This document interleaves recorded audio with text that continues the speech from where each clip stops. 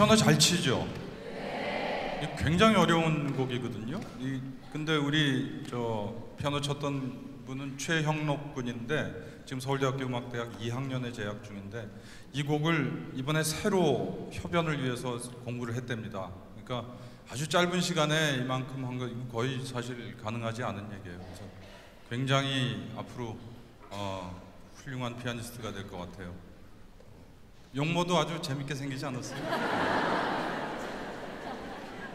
제가 지금 금방 전 무대 뒤에서 서로 얘기하다 만화 캐릭터 같다고 얘기를 했었는데 음.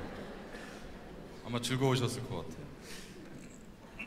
베토벤 이 피아노 협주곡 5번 황제는 피아노 협주곡을 이제 베토벤이 다섯 개를 작곡을 했는데 그 중에 마지막 곡이고요. 부제가 어, 황제라고 붙어 있는데 이거는 베토벤이 직접 붙인 건 아니에요. 그 나중에 피아니스트 또는 뭐 이, 이걸 감상했던 분들이 너무 곡이 예, 위풍당당하고 위험이 있고 아주 멋있고 그래서 이거야말로 정말 협주곡의 황제다 이렇게 얘기하다가 그것이 예, 이렇게 별칭으로 붙었다고 합니다. 아주 훌륭한 작품이기 때문에 피아니스트들이 반드시 거쳐가야 하는 그런 예, 협주곡입니다.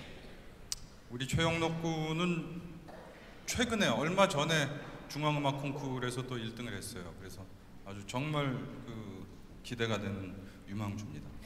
이번에 제가 여러분에게 들려드리려고 하는 것은 모차르트 교향곡 41번 어, 이것도 별칭이 있죠 주피터라는 별칭이 있는데 이 곡하고 베토벤의 교향곡 1번의 1악장하고 어, 감상을 하시겠는데 이 주피터 같은 경우는 이제 지금 알려진 거로는 어, 교향곡을 41개를 모차르트가 작곡을 했다고 합니다.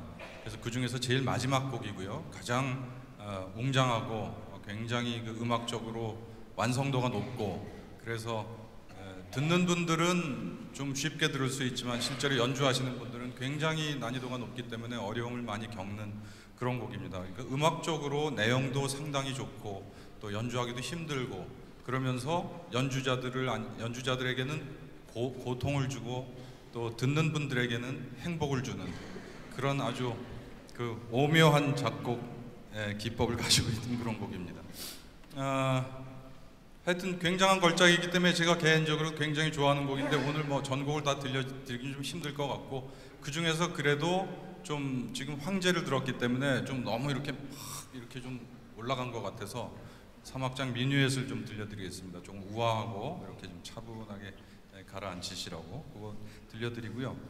베토벤의 교향곡은 아까 어, 말씀드렸듯이 아홉 개가 있죠. 그 중에서 이제 오늘은 첫 번째 교향곡의 네, 첫 번째 악장을 들려드리려고 하는데요. 베토벤 같은 경우도 모차르트의 어, 영향을 상당히 많이 받았습니다. 하이든의 영향도 물론 받았고요. 그래서 예, 베토벤 심포니 1번의 1악장을 어, 구성할 때 이제 그 앞부분에 느린 서주 부분이 있고 이건 하이든이 교향곡이라고 하는 그 장르를 만들면서 예, 이렇게 예, 틀을 잡아놨던 그런 형태고요. 그다음에 그 느린 서주 부분이 끝나면 바로 이제 알레그로 콘브리오 이렇게 해서 아주 빠르고 활기차게 연주해 달라고 예, 지시되어 있는 부분이 있습니다. 그 부분의 주제가 이제 제대로 나오게 되죠. 그래서 주피터의 첫 번째 1악장의 주제하고 베토벤 심포니 1악, 1번 1악장의 주제가 상당히 비슷합니다. 근데 제가 그걸 이제 좀 들려드리려고 그러는데 눈치를 채시는 분도 있을 거고 아닌 분도 있을 거고 그럴 것 같아요.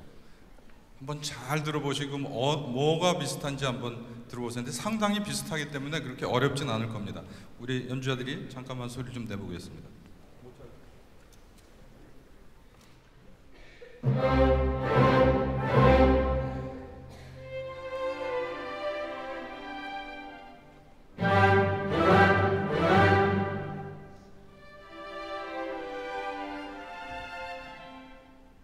자, 이번에는 베토벤 심포니의 그 빠른 부분을 한번 들어볼까요?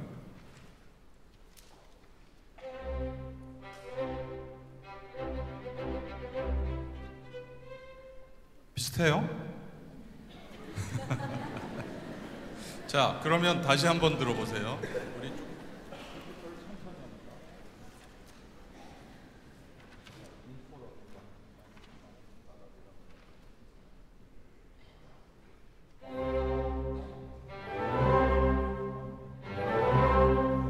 자, 이렇게 들으시고 그다음에 그-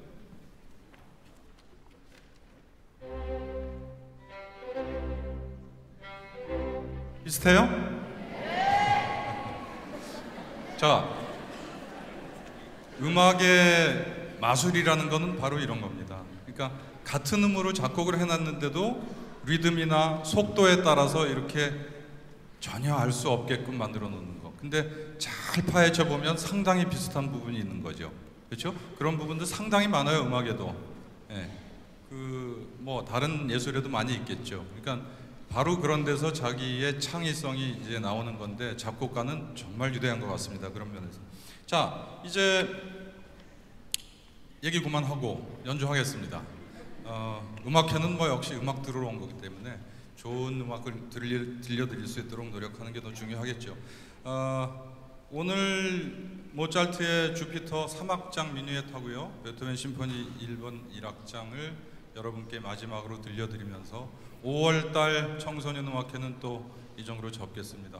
6월에도 많이 오시고 어, 훨씬 더 재밌을 것 같아요. 이제 낭만주의 음악으로 들어가기 때문에 음악에 아, 뭐라 그러나요? 이렇게 오늘처럼 이렇게 좀 뭔가 형식적인 느낌이 아니고 훨씬 더 자유롭고 뭐 노래도 하고 굉장히 낭만적이고 그런 음악들이 이제 많이 나옵니다.